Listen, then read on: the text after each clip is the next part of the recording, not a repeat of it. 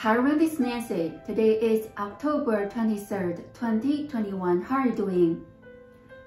From today, I'll start to share with you about possession. And in this first video, we will talk about what is being possessed. A few years ago, when we were walking on one of the streets in San Francisco, there was a man in wrapped clothes walking ahead of us. Master told us to pay attention to this man. The man was walking by himself. At the same time, he was talking to himself. This is what he was doing. He turned his head to the left to talk, and then he turned his head to right to talk. Master said there were two beings talking to each other through this man's mouth. In another word, this man was possessed by two beings. Possession is very common. Nowadays, actually, more than 80% of the people are possessed by other beings.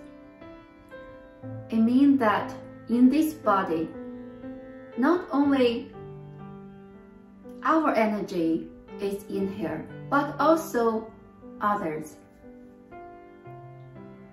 When our energy is strong, we may not feel the possession, but when our energy is weak, the possessing beings dominate. My grandmother spent her last few years in bed. She lost her mobility in a stroke. She couldn't recognize many people, including my mother, who she lived with. She would scold people and cry.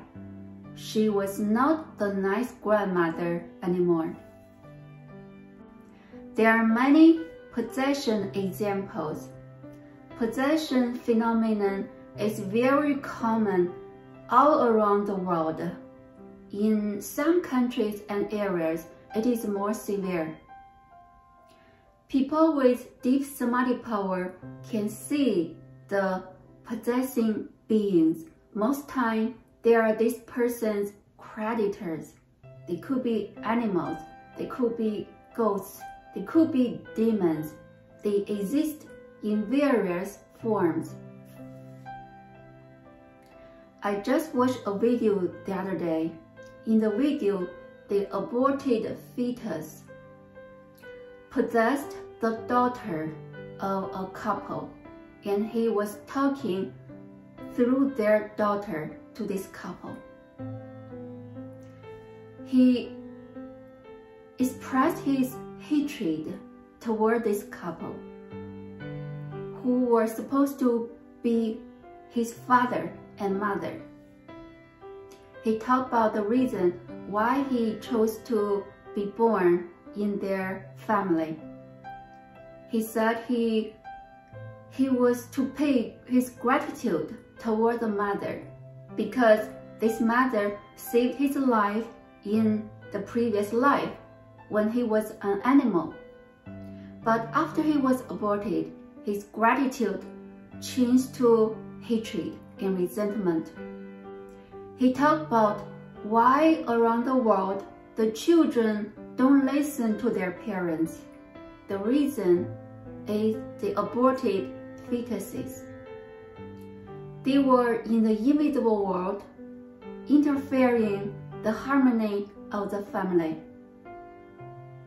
Because they had a lot of hatred and resentment, they would think, why you can live in happiness, not me? Why I have to live in miserable world? In the video, the aborted fetus asked the parents to repent in front of the Buddha and make vows to take the Buddha away. It was a long video and at the end, the mother and the father did repent in front of the Buddha and make the vows to protect the proper Dharma. The aborted fetus hatred and resentment was resolved and he became free at the end. We live in a world of cause and effect. When we hurt other beings, we have to repay them.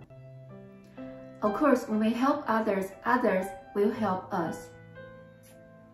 Because different animals have different character and a fox tends to be have a mind of hatred, a mind of strong hatred and retaliation. That's why people should avoid to wear skin clothes of fox and other animals because that will incur them to stay on your body. As I said in one of my previous videos, if a mother aborted a fetus, it is very possible that this mother will have long term of depression. Not only that, the family may lose harmony and the mother may get this and or that kind of disease. It is all from the aborted fetus, from the hatred and resentment of the fetus. Amitabha, this today's Dharma share, we just lightly touch upon possession. The invisible and the visible worlds are one. The invisible affects the visible. Actually, or you may say, the invisible dominates the visible world. Behind everyone they are invisible beings. In the gambling room, on the people who are gambling, there are ghosts who also like gambling. For the people who like sexual conduct, there are also ghosts who like sexual conduct with them. Beings with the same habits attract each other or like each other because they share the same karma. We will continue to talk about possession next time. Thank you everyone for being here. I'll see you next time. Bye.